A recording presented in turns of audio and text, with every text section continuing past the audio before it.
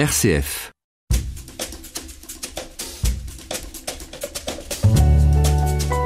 RCF, l'entretien de la semaine. Tintin est de loin l'un des personnages de bande dessinée les plus célèbres, avec plus de 240 millions d'albums vendus dans le monde. Le célèbre reporter à la houppe blonde a enchanté des générations de lecteurs. Mais si de très nombreux ouvrages ont été consacrés à Tintin et à Hergé par une multitude de tintinophiles, aucun n'aurait consacré un ouvrage entier sur l'angle religieux des albums de Tintin. Bob Garcia, bonjour. Bonjour. Pour pallier à ce manque, vous venez de publier Tintin, le diable et le bon Dieu aux éditions Des Clés de Brouwer. Vous écrivez dans ce livre il est important de se plonger dans l'environnement d'Hergé, de l'entre-deux-guerres en Belgique, pour aborder cette question.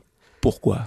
Parce qu'on n'a pas, euh, on peut pas aborder cette question de manière unique entre euh, de 1930 à 1980 et quelques. Hein. il a quand même couvert euh, un demi-siècle Hergé avec son œuvre de la même manière. L'évolution des mœurs et des, des, croyances et de la spiritualité a énormément évolué et c'était important de remettre chaque œuvre dans son contexte historique de l'époque, notamment le contexte de la création de Tintin qui était quand même fait dans un journal religieux, enfin du moins à obédience religieuse et son mentor et son chef direct, si on peut dire, l'abbé Wallet était un, ecclésiastique. Donc tout ça a joué sur l'œuvre d'Hergé. C'est assez impressionnant de voir d'ailleurs le nombre d'ecclésiastiques qui ont compté dans la vie d'Hergé. Ouais, c'est dingue. Moi, je l'ai découvert moi-même parce qu'après tout, je me suis dit, mais j'avais déjà lu qu'il y avait eu le père Neu, euh, N-E-U-T, je crois que ça s'écrit, et puis encore un autre, et puis encore un autre qui intervenait, le père euh, Bian et euh, ceux qui étaient à l'origine de Josette et Joko, par exemple. Et du coup, j'ai cherché et j'en ai trouvé plein, mais beaucoup plus que ça. Il y a de simples curés, si on peut dire, mais aussi des euh, à Monseigneur, des évêques, des évêques etc. Mmh. Donc voilà, tous ces gens-là ont, ont, donné de la documentation à Hergé. C'était plus avant-guerre qu'après-guerre. Hein, faut être, faut être franc. Mais est-ce que Hergé a été élevé dans un milieu catholique? Est-ce qu'il était catholique lui-même D'après ce qu'il disait, lui, il avait un père religieux et une mère qui ne l'était pas. Donc le père croyant, la mère qui ne l'était pas. Hergé devait être probablement un petit peu ballotté entre ces deux univers, mais compte tenu du contexte dans lequel il évoluait, il avait évidemment une forte culture religieuse. Dans votre livre, Bob Garcia, vous suivez, je dirais de manière chronologique, le développement des albums de Tintin pour nous présenter cette dimension religieuse dans ces albums. Dès Tintin au Congo, le, deuxième album, on voit que la présence des missionnaires, alors là, dans un contexte colonial, est assez présente elle est présente avant Tintin au Congo, puisqu'Hergé avait déjà dessiné des, dessins sur un autre scénario qui était dû à un scénariste, enfin si on peut appeler ça comme ça, mais il le considérait pas vraiment comme un, comme un scénariste tant le scénario était indigent, mais enfin il avait dessiné euh, Flup, Nénès, Cochonnet, une petite bande dessinée euh, avec quelques personnages qui préfigurent un peu quelque part d'ailleurs les, euh, les petits gars qu'il a mis après Quick et Flup en scène. Et dans cette bande dessinée, on a déjà un missionnaire, ça se passe déjà au Congo, et on a des scènes entières qui préfigure celle de Tintin au Congo. Alors il y a, y a, toujours un débat autour de Tintin au Congo, autour du racisme d'Hergé. Vous, vous vous situez comment par rapport à ces critiques vis-à-vis d'Hergé sur ce plan-là? Alors il y a deux écoles. Soit on juge avec la, le, le, le, recul des ans et on se place en 2018 et on juge avec des critères de 2018 et on va dire effectivement c'est absolument politiquement incorrect d'appeler un noir un nègre. Ça se faisait pas euh, à ce moment-là. Il faudrait réécrire toute la littérature. Mais je pense qu'il vaut mieux se placer en 1930. Je dis pas que c'est bien, hein, mais euh, voir plutôt le côté colonialiste, paternaliste, un petit peu des blancs vis-à-vis de, la, de la, colonisation de l'Afrique. Vous voulez dire que Hergé était dans la mentalité de son époque Oui, totalement. D'autant plus que Tintin au Congo, c'était un album de commande de la part de Norbert Wallet. C'était pas vraiment son idée à Hergé. Faut pas l'oublier ça non plus. Quelles sont les les valeurs chrétiennes de Tintin? Que l'on trouverait en regardant son parcours Parce que vous avez un chapitre consacré à ça. Oui, j'en ai trouvé plein. Il fait don de lui, comme par exemple quand il va au secours de ses propres ennemis pour les sauver d'un mauvais pas, notamment un, avion euh, qui s'écrase dans le désert. Il n'a pas peur d'aller dans la carlingue pour aller euh, tirer des, malfrats de cet avion, alors que lui-même, il met sa propre vie en danger. Mais déjà dans les soviets, on le voit aussi venir au secours d'enfants euh, qui sont maltraités dans la rue et à qui il donne du pain, il les aide, il recueille un mendiant. Déjà dans le Tintin au pays des soviets, Ça se passe pourtant au pays des soviets justement. Hein. Et il va faire bah, effectivement lui donner à manger, l'accueillir dans une dans un restaurant pour le, le, soutenir. Il est généreux. Il vient toujours en, en aide du de l'enfant et de l'orphelin, on va dire. Alors vous allez loin dans votre livre, Bob Garcia, dans ce livre Tintin, le diable et le bon Dieu. Vous dites qu'il y a presque une dimension christique chez Tintin. Ça, j'ai trouvé chez un autre auteur, rendons à César ce qui lui appartient et rendons aussi à Dominique Serbelot ce qui lui appartient. Il a écrit ça, le côté christique de Tintin. Je crois que Dominique Serbelot est un prêtre. C'est ça exactement, voilà. Vous le connaissez bien aussi, prêtre tintinophile, donc mhm. il connaît bien Tintin, mais il connaît bien aussi la religion et pour cause.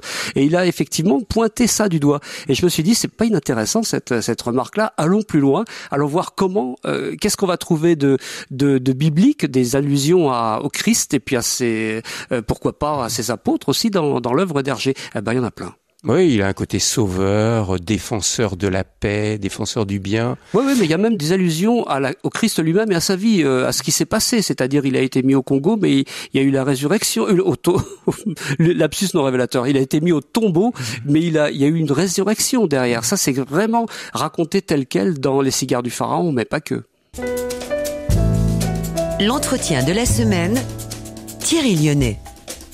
Ce qui est intéressant dans l'œuvre de Tintin, et quand on la scrute attentivement, comme vous le faites, Bob Garcia, on voit qu'il y a souvent des tentations qui apparaissent régulièrement dans la vie de Tintin puis dans celle du capitaine Haddock, voire même de Milou. De Milou, exactement. D'où le titre Tintin, le diable et le bon Dieu, qui sont représentés respectivement par un petit diablotin qui est souvent rouge ou voire noir quelquefois, et puis le, le bon Dieu, bah, c'est un petit angelot qui lui, par contre, prêche la bonne parole, mais il a du mal à se faire entendre, hein, notamment quand Hergé est, est, tiraillé pour, par le fait de boire ou pas boire, ou, ou Milou, le fait de porter secours à Tintin, ou plutôt de, de choisir un os qui est juste à côté. Mm-hmm. Donc oui, il y a cette dimension, tout n'est pas noir et blanc, tout n'est pas totalement manichéen dans l'œuvre d'Hergé. Il laisse une place au doute à aussi des méchants qui se repentent et qui deviennent des bons par la suite, mais qui replongent par après. Donc c'est un petit peu plus compliqué que ça l'œuvre d'Hergé. Bob Garcia, quand on, on, lit les albums de Tintin, Hergé nous fait énormément voyager, beaucoup de lecteurs ont découvert le monde hein, grâce à Hergé. Est-ce que Hergé s'intéressait vraiment aux autres religions? On a beaucoup parlé du christianisme jusqu'à maintenant, mais on voit souvent dans les œuvres de Tintin apparaître les autres religions. Hergé s'y intéressait vraiment? J'en suis sûr, parce qu'il y a des allusions notamment au, bouddhisme, à l'hindouisme, voire à l'islam, qui sont vraiment très très très précises. Et ça, c'est pas le genre de choses qu'on peut sortir du chapeau, si j'ose dire, comme ça, sans l'avoir étudié. Donc oui, il s'y est intéressé, il se documentait énormément, donc il n'y a aucune raison d'imaginer qu'il se soit pas documenté en particulier sur ces religions. Alors on cite souvent à sa décharge les fameux Dupont qui rentrent en, en chaussures dans une mosquée et qui en ressortent à un coup de pied dans les fesses. Mais et puis en disant bien entendu Hergé se moque de l'islam. Pas du tout, il se moque des Dupont qui ne connaissent pas l'islam. C'est très différent. Euh, attendez, ça c'est très intéressant parce qu'on on, a accusé Hergé de ne pas respecter, de ne pas aimer l'islam, notamment avec cette histoire où des Dupont même donnent un coup de pied dans les fesses de musulmans en train de, de prier. C'est important ce que vous dites. C'est pas Hergé qui était contre l'islam, mais c'était une critique des Dupont qui étaient des, des lourdeaux. C'est plus qu'évident, c'est ça qu'il est en train de faire. Si on relit avec un petit peu de recul aussi Coq en stock, mais en général les détracteurs vont s'arrêter à Tintin au pays de l'or noir ou au cigare du pharaon, etc. Mais allons plus loin, allons sur Coq en stock. Et là, le capitaine Haddock dit aux, aux musulmans, ce sont des noirs qui vont faire leur pèlerinage à la Mecque, n'y allez pas. Donc là, les, tout le monde a, dit, mais attendez, il, est contre l'islam, pas du tout. Haddock dit, n'y allez pas parce que vous allez tomber sur des pirates qui vont vous mettre, euh, vous transformer en esclave et vous n'arriverez jamais à la Mecque. Donc il a absolument jamais proféré quoi que ce soit contre l'islam ni contre le pèlerinage à la Mecque, mais plutôt la mise en garde de ces gens-là pour pas qu'ils se transforment en esclaves. C'est complètement différent comme lecture. Et par rapport aux autres traditions, je pense euh, au taoïsme, lors de, de Tintin, en, bah, le Chine, bleu, bleu, voilà, oui. Par exemple, mais aussi au, Tibet. Hein. Euh, ça veut dire que Hergé avait étudié le, le, taoïsme, il a étudié le bouddhisme pour Tintin au Tibet. Mais carrément. Non, non seulement il l'a étudié, mais en plus on connaît ses sources. Je les cite d'ailleurs, je crois, dans la première partie. C'est pour ça que c'était important de faire, de resituer chaque album dans son époque, et puis de resituer aussi les sources d'Hergé. Là, en l'occurrence, il s'est appuyé sur un le magazine Géo, qui lui a fourni énormément d'informations, et il y a des scènes entières et des dessins entiers qui ont été pris du magazine magazine Géo. Donc on peut supposer que s'il a pris les images, il a peut-être quand même pris le temps de lire le texte qu'elle est avec. Mais est-ce que ça veut dire qu'Hergé était un voyageur en chambre ou est-ce qu'il a beaucoup voyagé à travers le monde?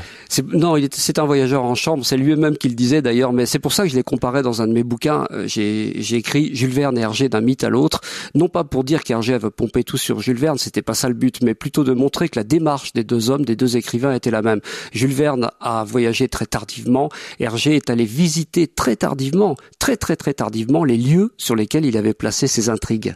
Vous dites qu'Hervé était une éponge qu'il ne pouvait pas rester indifférent à, tout ce qui se passait dans le monde. C'est vrai, c'était vraiment une éponge. Il se définissait lui-même comme une éponge. Il disait je suis une éponge et ses carnets en attestent. C'est-à-dire qu'on retrouve effectivement des petits croquis qu'il pouvait faire à, n'importe quelle occasion. Il pouvait se voilà aller au cinéma, se balader dans la rue, entendre une conversation. Il notait le gag ou la situation qui pourrait éventuellement alimenter son œuvre. C'était une véritable éponge et éponge aussi dans le sens où il a été probablement quelquefois un peu influencé par les les, scénaristes de l'ombre, comme on les a souvent désignés, qui étaient Jacobs, Jacques Van Melke-Belk et aussi euh, Jacques Martin et autres. Donc tous ces gens-là, tous ces scénaristes, effectivement, l'ont influencé. Et lui, tel une éponge, il a incorporé ce qu'on lui, ces informations qu'on lui donnait. Pour terminer, euh, Bouk Garcia, une question énorme pour le spécialiste d'Hergé que vous êtes, mais qu'enseigne vraiment, selon vous, la lecture de ces aventures de Tintin? Le bon, la justice, et puis ne pas juger trop vite. Je crois que c'est ça la philosophie d'Hergé. Belle philosophie. Merci beaucoup d'être venu nous la partager. Je renvoie bien sûr au titre de votre livre, Tintin, le diable et le bon Dieu, que vous venez de publier, Bob Garcia, aux éditions des Clés de Brouwer. Merci. Merci beaucoup.